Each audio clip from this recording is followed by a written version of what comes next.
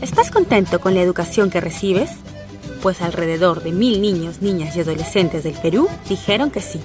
Esto se estuvo con los resultados de la encuesta La voz de los niños en el Perú, realizada por Ipsos Apoyo y el Grupo Impulsor de la Infancia, para saber qué opinan ustedes sobre la educación.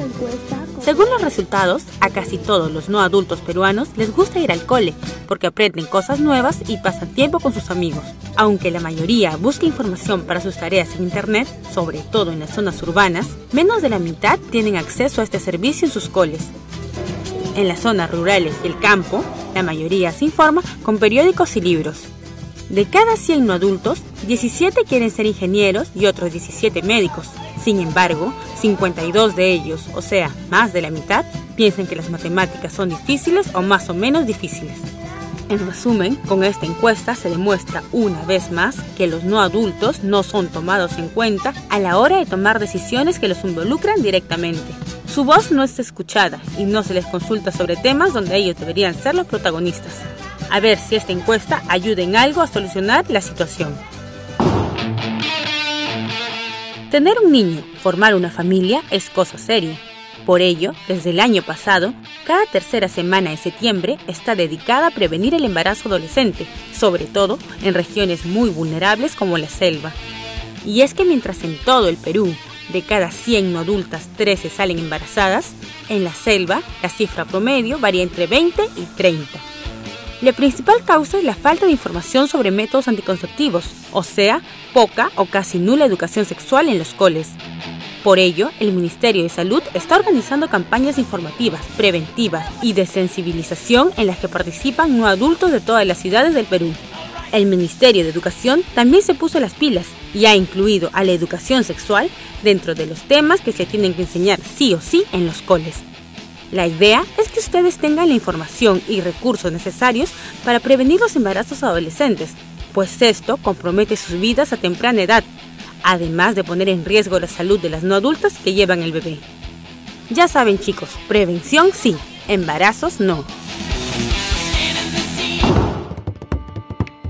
En los últimos 30 años, más de medio millón de hectáreas de bosques secos de la costa norte del Perú han sido deforestadas por taladoras de árboles informales que buscan obtener carbón y otras fuentes de energía a costa de nuestro ecosistema.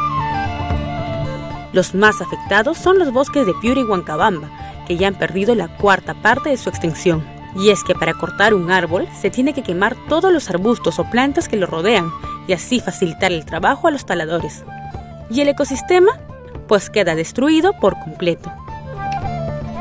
Aunque las autoridades tienen conocimiento de este problema, es poco nada lo que hacen, según ellos porque no cuentan con los recursos suficientes para proteger y cuidar estas áreas.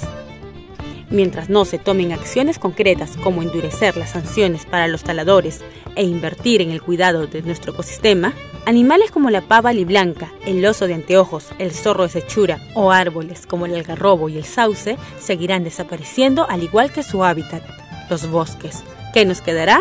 Pues desierto y más desierto.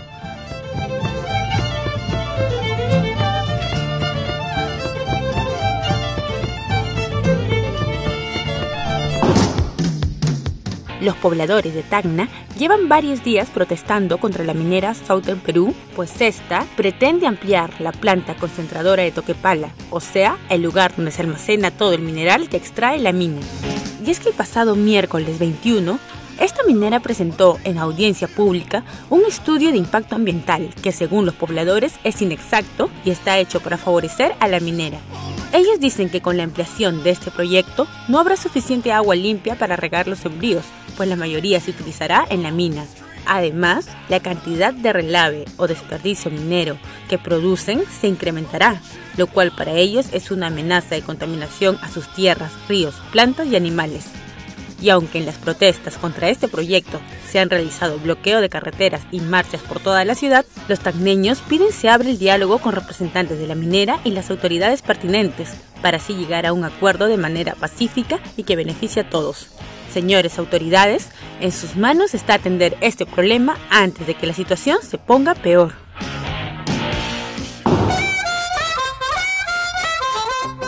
¿Sabes que hay libros para todos los gustos? Pues sí, hay libros sobre historia, sobre arte, libros para aprender matemáticas, para cocinar o para entender otros idiomas.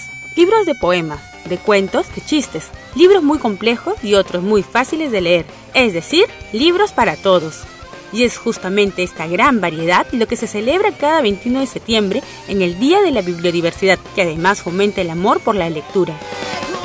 Y una de las campañas realizadas en el Perú por este llamado Día B fue la suelta de libros, o sea, dejar un libro tuyo en un lugar cualquiera para que alguien más lo encuentre y lo lea. En Lima, muchos no adultos intercambiaron libros y dejaron más de uno para que otra persona también lo disfrute. Eso sí, cada libro llevaba en la portada una frase que decía más o menos así. Este ejemplar no se vende ni se alquila, tampoco se queda. Una vez que ha sido leído debe volver a ser liberado para que alguien más lo lea. Entonces, a leer se ha dicho.